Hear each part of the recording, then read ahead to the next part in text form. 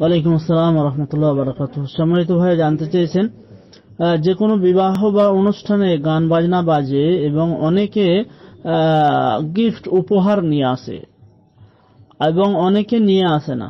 এখন কথা হচ্ছে, যারা নিয়ে আসে না, তাদেরকে অত্যন্ত লজ্জাশীল হতে হয় যে গিফট উপহার অনেকেই নিয়ে এসেছে আর আমরা খালি হাতে এসেছি এবং গান বাজনা বাজে।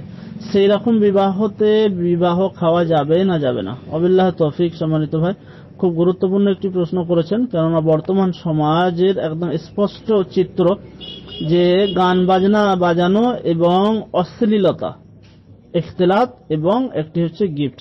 নবী সাল্লাল্লাহু আলাইহি সাল্লাম বলছেন একটি হাদিসে তাহাদু তাহাব্বু এলাই তোমরা একে অপরকে তোহফা দাও, হাদিয়া তোহফা দাও, তাহলে কি হবে? একে অপরের প্রতি ভালোবাসা সম্পৃক্ত হবে। ঠিক আছে?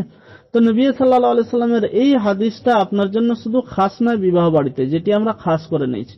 মানুষ সাধারণ অবস্থায় কেউ কাউকে উপহার দেয় না, শুধুমাত্র বিবাহ অনুষ্ঠানে দেয়। আচ্ছা আরেকটি কথা, এখানে আমাদের সমাজের পরিচালনা রয়েছে যে আপনি তোহফা দিলেন, সেটি লেখা হয় এবং লেখা না হলেও মনে রাখা হয় যে অমুক ব্যক্তি আমার ছেলের বিয়েতে এই জিনিস দিয়েছে, অতএব তারও যখন হবে, আমাকেও সেটা ফিরিয়ে দিতে হবে।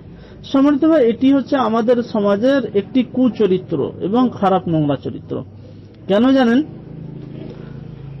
বিবাহ সাদের অনুষ্ঠানে আপনি অলিমা করে মানুষকে খাওয়ান দাওয়ান করাবেন, এটি একমাত্র আল্লাহর সন্তুষ্টির উদ্দেশ্যে আর খুশির সংবাদ।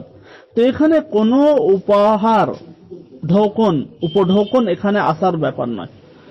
যদিও নবী সাল্লাহ আলিয়াল্লাম পথটি খুলে রেখেছেন। এটাকে আমরা কিন্তু খাস করে রেখেছি শুধুমাত্র বিবাহ সাদিতে। ওই জন্য এটার ভয়াবহতা আপনাকে বলছি যে এই রকম সাধারণ পরিবেশে যেগুলো আমাদের প্রচলন রয়েছে তাকে দূরে সরিয়ে দিয়ে আপনি যে কোনো টাইমে সারা বছরে সারা মাসে প্রতি সপ্তাহে যে কোনো টাইমে আপনি গিফট উপহার দিন এতে ভালোবাসা সম্পৃক্ত হবে।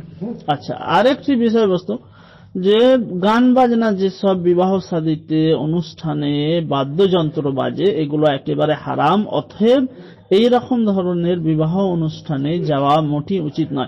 সাহাবারা দিয়ে আল্লাহ আনহরা যখনই অনু ইসলামিক কোন রকম কিছু বিবাহ অনুষ্ঠানে দেখত, তখনই সেখান থেকে ফিরে চলে আসতো। সেখানে খাওয়া তো অনেক দূরের কথা।